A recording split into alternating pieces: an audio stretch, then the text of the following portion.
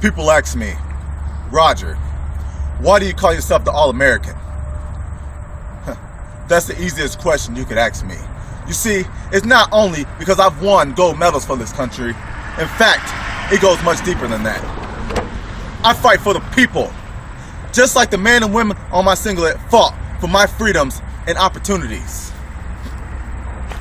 That word, opportunity, I feel like most people don't know exactly what it means. It means this isn't going to be handed to you. It means this door is open and it's up to you to walk through it. And if somebody is standing in your way of that opportunity when that door is there, then I guess you're going to have to compete to go through it.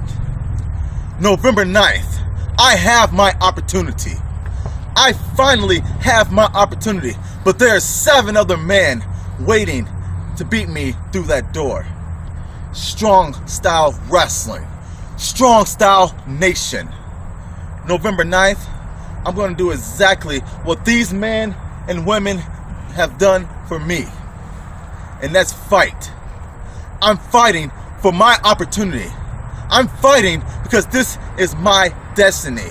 And there's no man that's going to stand in my way while that flag flies high and my heart beats and these hands are fighting strong.